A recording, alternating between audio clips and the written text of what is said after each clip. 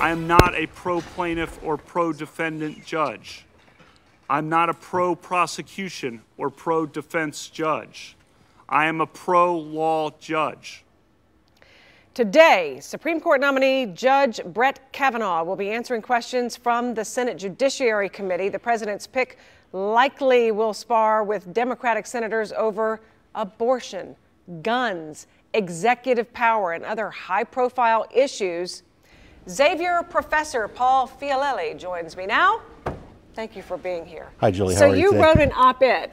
I did. I did an op-ed piece on uh, uh, uh, Justice Kennedy's retirement, and he's really been the swing vote on the court since Sandra Day O'Connor retired, and so that's one of the big concerns.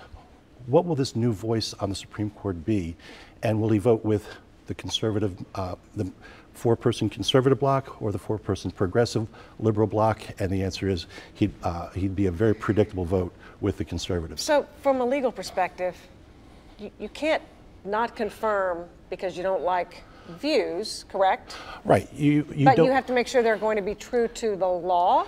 Right. You want to see how whether they're what they call judicial activists or people that favor judicial restraint. So do you have a strict reading of the law or do you have an expansive reading of the law?